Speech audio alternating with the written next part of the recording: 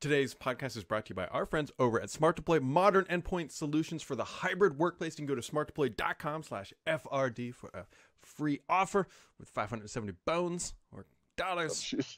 And there's Where half a, I? half a throat. I'm in there somewhere. What- There's there's a full throat. Get your What side is the camera on? Here we go. Well, good news, Brad. Or yes. bad news, depending on your perspective. I just tested negative for COVID again, Mm, that is bad news. so I I got think- I got that going for me. Yes, you do. Where where are you right This now? is- You're in Central Park in New York So I'm City. in. A, I just forgot the name of the park. I'm in a park that's right next to uh, Bella, uh, I call it Bellas Artes. It's probably Bellas Artes, I guess, which is inarguably the most beautiful building. I'll bring you around the front, but let's see if I can do a little turn around here. See what that Oh, looks yes, like. it is. Very nice. Very uh, very Paris-like, I would say. Yes, I was I was about This to is also Parisian. yeah, yeah, yeah. and also actually here while I'm here, I can handle this a little bit of geometry. There you go. Nope. A little little new on, the old. is, there it is. Yeah, the old tower there. That used to be the tallest building in Latin America, probably in the 70s or something. But there you go. Well, Paul, Ugh. while you have been globetrotting um, Carmen San Diego Yes. over there, things have been happening. Like what? Things, very important things. I, I know you're going to be very Okay. excited about this. The All right. Xbox dashboard updated to a higher resolution. By the way, a little bit of um vagueness on that one, right? Yeah. What? Didn't say Uh, 4K. it's- No, they didn't. And uh, some of the reports I saw said that they did, mm-hmm. and that's not what it says. It just says higher resolution. Yeah. I don't have, I- you know, I'm, I'm away, so it's hard for me to look at these things. But I know on my display that I use the Xbox on, when I switch from the dashboard to the game, goes up in res, Mhm. and HDR comes on. Yep.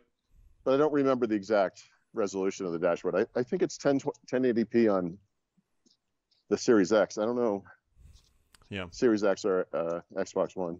Yeah, there's a couple notable things. First off, this is only for the like alpha insiders, so there's that. Nothing Yep. said yet about an Xbox Series S, so this is X only for now. As it's also, I Uh-oh. believe, no HDR, so it's just no. a a res bump of some sort. We don't quite Uh. know the whole thing here yet. So, Sorry, it froze on me there. What's that Yeah. little message say? well, it's just bad quality. It says the idiot you're talking to is an idiot. hmm It's the building. Really not getting a good. Uh, froze. No, it looks fine on this end. Oh, now it froze. You actually kind of need to be far away from it to see it. Oh, Yeah. oh, oh. Maybe maybe I we think I did a little network switch there. maybe we stand still. This is what happens. I will. Yeah, I want it. What I want to do is get into a place that looks nice Mm-hmm. Well, the problem is your head's in the and way. away from people who are eyeing me suspiciously, as they should. Let's see if I can get this up there. Come on, come, come on. It seems like I'm going too far there, but there we go. It's pretty. All right, I'll stop moving. Uh, other things, Paul, that have happened. If you're if you're on the Mhm. T-Mobiles, not Yeah, not this is uh, T-Mobile's had some security issues in the past, uh, but this one sounds Mhm. pretty bad. Uh, it was initially kind of like floating out in the ecosystem, but now T-Mobile has officially confirmed that hackers gained access to its system, including uh, social security numbers, driver's license, all that stuff. For 100 million people, which means their next uncarrier event, Paul, is going to be lifetime identity protection, because this sounds pretty bad. Yeah. It's like they, they should change their name to the Unprivacy Network. Is that what they? Too much? How long you been sitting on that one? Oh yeah. So if you're using T-Mobile, I would be on the lookout for some official messaging about whether, or I don't know. I mean, at this point, like I feel like my data is probably only worth a dollar because it's been leaked so many times. Although I do not use T-Mobile, so I guess we're not. I'm not impacted by that, but I'm definitely my data's out there. Both of Sorry. both of the networks I use right now are MVNOs that use T-Mobile in the back end, and I assume that has nothing. You know, th- there's no worries there. This is about the customer databases or whatever. Mm-hmm. But yeah, Yeah. I don't think I've ever I don't know. I guess if you T-Mobile account. if you're using T-Mobile, you should. I mean, realistically, everybody should be watching their stuff. Uh, but I don't know if there's I don't use a pay for it service. I'm not even going to mention their name, but um, I think everybody should at least be pretty cognizant of what's going on because regardless of T-Mobile, your stuff you need to be watching it because at this point, it's all. I think the solution is not to use anything electronic or online. You know, Yeah, let's go back to pen and paper. I'll start sending telegrams. When I do a podcast, I'll just send you a postcard. You can read it. I'll tell you what. You the know? older I get, the more I respect people who just say nope, and they go to Montana, Yeah. and buy a plot of land with a cabin and like a propane tank that always say this. This is the up. the action hero star. Always drives a Cadillac, uh, like a a car with a carburetor. Mhm. You know, like an old classic Camaro or a Mustang or something. Yeah, no, I totally get it. the the type of thing that can be fixed with a wrench and not an OB2 reader, hmm or is it OBD2 Yeah. reader? Could be Yeah. fixed by a human being without a computer. Exactly. Yeah, just a little little more oxygen through that carb. But if you need a little bit more oxygen through your deployments of Windows 10 or potentially even 11 here in the near future, check out this message from our friends over at Smart Deploy. Smart Deploy makes it easy to manage hundreds or thousands of endpoints on any version of Windows anywhere. It's faster and more reliable than Symantec Ghost, MDT, or Acronis Snap Deploy. Head on over to smartdeploy.com slash FRD to get started with your free exclusive software worth over $570. You can also find links somewhere in the description, depending on the device, locale, continent you're on. If you're in Australia, it's probably at the top. If you're in the US, it's probably in the bottom somewhere. Just, geographies. I think the best thing that could happen on the show right now would be if someone tried to steal my phone, Oh, I was hoping and what we captured was me bringing down someone like like a lion bringing down a gazelle in the safari. I was hoping a stork would attack you. That would have been Actually, there are some Like- birds moving in this direction. just from the side. This this beak just enters the frame. hmm It's just like you're right, they want they nip at my earbud or something. That looks like food. Yeah, he came into this world and went out just the same way, angry, Yeah, yeah, exactly. Screaming and stupid. being attacked. Uh, this just came out, by the way. Uh, sea of Yep. Thieves, I believe, had its best month ever in June for Really. for monthly usage. Yeah, by the, by peoples. So just keep that in your in your back pocket as Microsoft continues to dump more money. I, well, it's got to be related because they announced that Johnny Depp stuff. Right. I was trying to see if I could find the actual quote here because There is a I don't know what kind of bird this is, but it is hopping toward me as we speak on top of a bush, which is kind of curious. Mm-hmm. it was 4.8 million players, by the way. Wow. Sea of Thieves, June. Yep, that's great. Yeah, it just It's weird, but that's great. I mean, it's great. Yeah, I, the the remarkable thing is how long this title's been out, and it very clearly has just a very dedicated fan base that keeps coming back and back for more. So Microsoft clearly has a not just I mean we've known it's Well- done well, but like they've got a sustainable little world gear going on. And what helps that is Microsoft does an amazing job, and I don't think they get credit for this, of supporting certain games, certain uh, first-party games. They've done this with Gears 5. Mhm. Um, I didn't cover this because it's, you know, to me, it's just not a big, big deal. But for people who play the game, it is. You know, new season, they've added new characters, new maps, you know, you know, all this stuff. I mean, I, I that kind of ongoing support is is stands in the face of what, say, an Activision or EA does with like a Call of Duty game or whatever, where the game from the past year is supported, but then they move on to a new game, and you don't. The old game doesn't get new maps, and they don't Mhm. get new anything, right? I mean, there's some Warzone stuff happening finally, but you know, this this notion of seasonality for older games, meaning games less uh, more than a year old. I, I that's I mean, for the people who play those games, that's fantastic.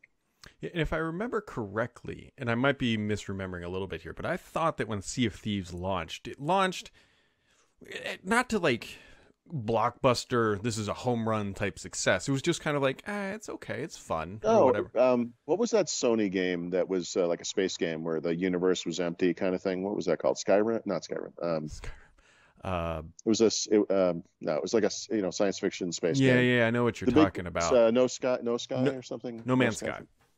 No Man's Sky.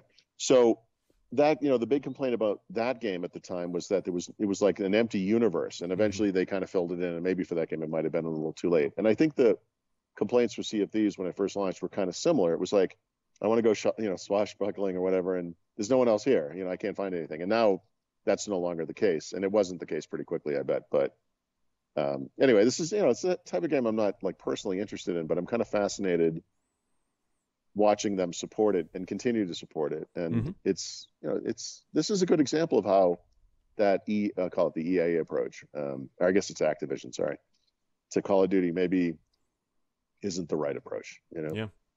Speaking of Not which, they've games. announced Vanguard, which is Call of Duty. Yeah. War- I, you know, a couple of years ago, probably when they went back to World War II, whenever that was, three years ago, probably, I was like, yeah, you know, they've run out of, out of ideas.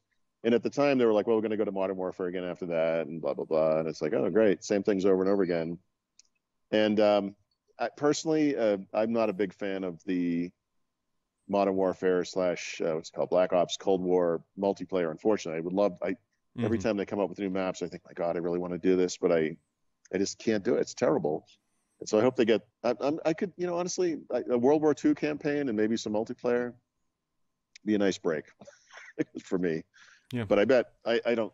I don't think this one's going to be super successful. I don't think this is a, a recipe yeah, for the, success. You know. the big weird thing that's going to happen is they're going to merge all this for because Vanguard the game like will be its own thing, but Warzone is going to they're going to blend all this stuff together. So I don't understand how they're going to go back to World Yep. War II. But then you can you call it a UAV? Like like what? How does that work? They didn't Right. exist. So uh, for years and years, I've been saying what we need is Call of Duty Online. Um, you can make playlists of all the best maps from all the games over the years, going all the way back to Call of Duty 2. And it shouldn't matter. You should be able to mix and match. Like a Call of Duty 2, World War II war, uh, multiplayer map with Modern Warfare weapons and you know why not i mean why not do you could mix and match that would be such a cool playlist i want the Mhm. weapons from this era i want the maps from this era i want a combination of them i mean who cares um, but again you know activision has its own ideas obviously but Yeah, their own ideas are we make a billion dollars a year on this. yeah yeah exactly. Right. So who am i to complain? But well i'm a player i guess. Um, or i was. I mean i you know i'm not i'm still playing i'm playing a game that's like two or three years old now Mhm. black ops 4 i i i can't stand the new games like the multiplayer things. I can't i just can't do it. So maybe i need to adopt or adapt i guess to uh, warzone or something. I don't know but i bet you know they you know they blow up those islands or those maps uh, every once in a while for the new games and uh or they start adding remember what uh, they added uh maps i think when they went to was it modern warfare or maybe black ops cold war but you know you, you could have some world war ii environments in that Mhm. world for sure i mean it'd be kind of interesting Mm, yep. Yep. So I don't know what else is on your agenda. I know you got your your brain poked this morning, right? Yeah, and this one went deep, man. I I had to blow my nose for like five minutes afterwards. Um, we don't really have much on the schedule today during the day. I I, I wish there was more going on in the normal work world because I come I you know this morning I got up early. There was nothing to write about. Um, I got back yesterday afternoon, whenever it was. There was really nothing to write about, uh, which you know helped me get out that what I use post. But Yeah. I could use some normal work stuff, but there's really not a lot going on. Um, we're gonna go see one of those lucha libre wrestling match things tonight, which should be entertaining. um, and I, that's really kind of the last big thing. Yeah. And then you know we come home on Thursday, so know. There you go. Well, if you want to bring it on home, you can head on over to our friend Smart Deploy because they've got a great solution, more specifically, a flexible solution for the modern workplace. Make sure to claim your free offer over $570 in value. Go to smartdeploy.com slash FRD, and uh, we will be back tomorrow with Nacho Libre. yes. See.